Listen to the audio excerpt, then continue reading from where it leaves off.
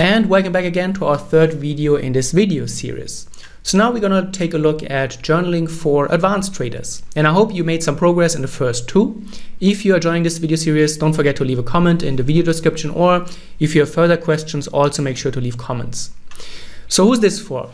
I would say this is for traders who have been trading for less than 18 months.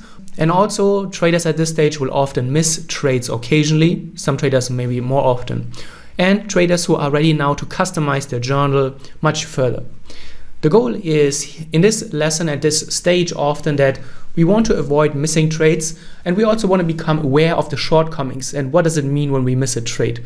We want to improve our understanding of our strategies, our setups, and our trading in general. We want to get to know a little bit more of the performance metrics, and we want to combine data journaling and emotional journaling. So the focus points on Edgewonk are today the custom statistics, which is one of our most favorite and beloved feature, the sessions we're going to use and utilize missed trades, and we're also going to take a look at our notebook. So the custom statistics are a way to completely customize the journaling experience to your own trading and to your own needs. And when you open a trade under advanced trade data, you will see that we have this area for custom stats here. And they are completely customizable. You can pretty much enter anything that you want. And when we go to our settings and then here to our custom statistics, you will see that we have 20 slots available and you can fill them however you would like. For example, here's some inspiration. The traders like to track time frames, so the time frame that the trade was taken on, the amount of confluence factors, which can also be the quality of the trade. Maybe if you're trading patterns, you can do that. You can track meta skills or other meta factors, so your preparation level, your mental level. You can also track indicator setups. You could track the general market behavior. And then obviously there are so many more ways how you can use this feature. One thing that I would recommend is that in the beginning, limit the usage of the custom statistics to maybe four, five, or six. Don't go crazy and don't use all of them at once. First of all, you will overwhelm yourself by having to go through 20 things at once for every trade. It's just going to take a lot of time and the value is probably not going to be there right away. Save custom statistics slots for later on because as you progress, with your trading and also if you gain a deeper understanding of journaling and what you want to improve, you will start using new custom statistics. So that's very, very important.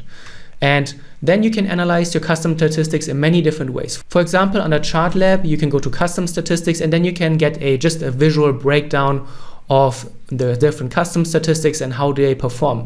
You can switch and toggle between the different custom statistics here and you can display all and you can also change the display and the unit so for example you want to analyze and visualize it in just how much dollars or currency you have made or lost or you can toggle and change to percentage gain based on your account size and then you can analyze it here and you can look for outliers and in general outliers are always the way to go uh, at first because that's where you see the biggest improvement so look for things that really stand out. For example, this trader seems to be quite well on the lower time frames, but the higher time frames, the daily and the four hour, seem to be underperforming for this trader.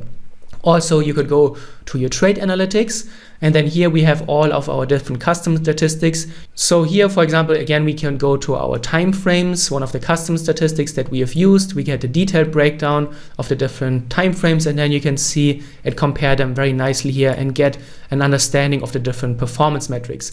By the way, I will leave a, a, link in the video description to our FAQ where we break down every single one of our performance metrics and what they mean and how we calculate them so that you can get a better understanding of how to judge your performance. But we'll also keep making new videos where we specifically talk about the different performance ratios. By the way, what you can also do is, for example, you can go to your regular equity graph, which just visualizes your performance over time. And under advanced filters, you can find all of the different um, custom statistics as well. So you can start looking for only trades with the daily um, custom statistic. And you can see this is how it looks. You can add obviously more, you can compare them and you can use then the custom statistics in so many different ways. The filters are applicable to all of the chart labs here and that is a way of really digging into your performance on a much deeper level. Next, what I would recommend is utilizing the sessions. Sessions can be utilized in different ways. For example, you could come back at the end of the week of your trading week and you can add a new trading session. So what you do is you select the start and the end date. For example, let's assume we want to create a session for the last week, Monday to Saturday, Sunday. We can give this session a rating, which basically means how did you, how confident or how satisfied are you with the trading and with your overall trading week. You can use the rating. You can also choose one of the session categories if you want to give this uh, session a special um, category, and then later you can filter for that. And what you can then do here is fill out the form and the text. And this is then a little bit more of an emotional journal. A lot of traders, when they think about trading journals, they think about having a notepad or a notebook somewhere where they write in their thoughts. And obviously, this has a very important place, and it's important to also trying to verbalize your thoughts and to just get it out of your head. And this is the reason why we combined it and why we added this feature in Edgewonk. So you get the best of both worlds. You have the data journal, the customization, and also the mental aspect of the written diary if some traders want to call it like that. And then you can see for past sessions you if you have trades that have falling into this week which does not appear in this journal but you can see okay how many trades did fall into this period how many winners losers break even trades what's the win rate the overall gain and then also the tilt meter for the week which is then very important. And over time you can build up a very nice record of your trading sessions. You can come back and see and follow your progress really. How did you view and how did you look at your you're trading a month ago, a year ago, two years ago, and then you can nicely follow your progress and your thought process over time. So that is one thing that I would really recommend at this stage as well. Missed trades is another thing that is at this stage very common for traders. And if you are missing trades, I would really recommend to take a look at our missed trades feature. So here you can add trades that for whatever reason you missed. And this can lead to a lot of great insights, especially what I would recommend if you enter the missed trades we have one custom statistic reserved to missed trades. And the most common reasons why traders miss trades is they happen when they are asleep. Maybe there was a mistake in your or an error in your process. You didn't pay attention to the to the charts. You maybe were busy. Maybe you were distracted, or you just couldn't trade. This is often the case while you are at work, for example. And this brings a lot of new insights to your approach and maybe give you some ideas on how to improve it. Or it can give you a little bit of peace of mind when you see that, or when you feel rather that you're missing a lot of trades. And a lot of traders will get frustrated because they think that the trades that they miss are always the winning trades. But if you see that they happen while you're asleep, there's nothing really you can do about it. And that could put your mind at peace a lot because you can see, okay, I'm not going to sacrifice my sleep. My sleep is the number one priority for my health and my well being.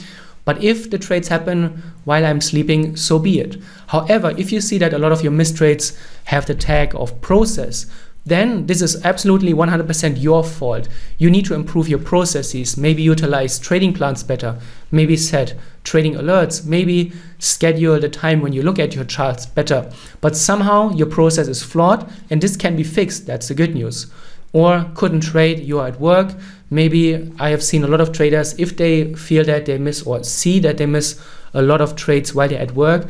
I've seen that traders can talk to their supervisor and to their boss and say, hey, is it okay if I dedicate five or 10 minutes every two or three hours to this trading thing, which is my passion, my hobby, and it would really mean a lot to me. And a lot of traders are able to actually do that. And there can obviously be a lot of different reasons for why missing trades, but bringing more awareness to this and then finding out that you could actually miss less trades by just adjusting your schedule, your processes. That could often make a big difference for many traders. And then the next step beyond the sessions, we have the notebook here. If you really want to take the mental diary to the next level, you can utilize, you can utilize our notebook here.